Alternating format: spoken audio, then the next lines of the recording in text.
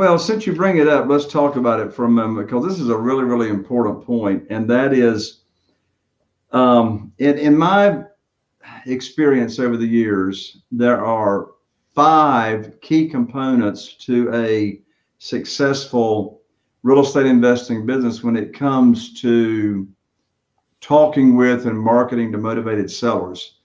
And um, this podcast is about you. It's not about me. So I'm only going to talk about one.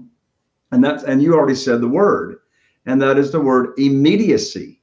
Immediacy. I mean, when, when a motivated seller, and of course, we're talking about off market sellers, we're not talking about sellers or bank owned properties that are in the multiple listing service. Um, of course, in this market, you can't rely on that anyway. But when that uh, call comes in, whether it's from a Google ad or it's direct mail, it doesn't matter how you are getting the leads coming in. It's like the most important thing that could ever happen is for someone on the team, your acquisitionist, whoever, to be talking to that person like right away. And you know, it's the age old argument. Do you take the calls live?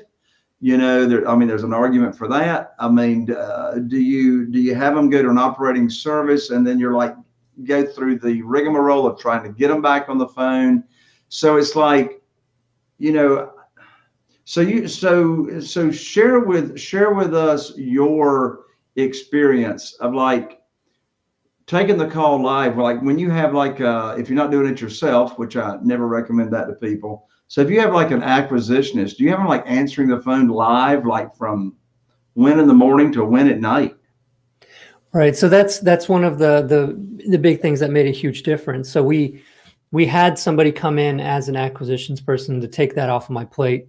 And they did take the calls for a while because it, it made it also seamless for when somebody is answering the phone, they talk to somebody, and then that's the same person that's coming to the house. So that's beneficial as you grow, that's going to be to where it becomes a problem because that person is going on appointments and they can't take those calls while they're at an appointment.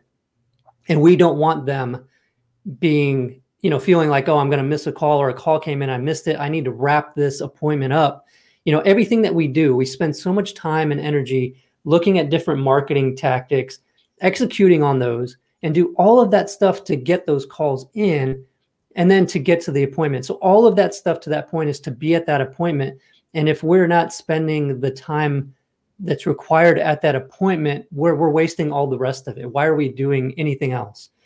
Right. So our acquisitions people, it was spend as much time as you need to at each of these. Make sure that you've got at least two hours so that you can sit down on that gross couch or, or you know, sometimes or or whatever it is and have a conversation with the seller because this is what this is all about it's really getting to the bottom of why they're selling, understanding their problem, and then showing them how we can help them. It's not just here's the offer. Do you want it? Come on, sell your house. You know, it's none of that stuff. So, uh, in in answering the calls, once you have that, you know, where you you have the ability to bring on that lead intake person, then that person should be somebody that's super friendly, that's easy to build rapport with, um, that's really gonna because that's the first person that they're gonna interact with in your business, right? They're representing your business, and so if you can have somebody uh, that doesn't even have to be in an office or anything like that. This could be your mother-in-law. This could be your aunt.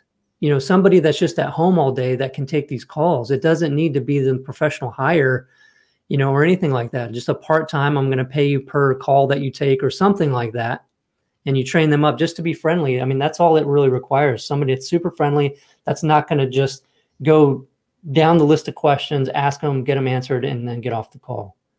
Because we want the person saying, wow, that person was, this company's great. Like, this is, you know, I really liked that person I just talked to. Mm-hmm.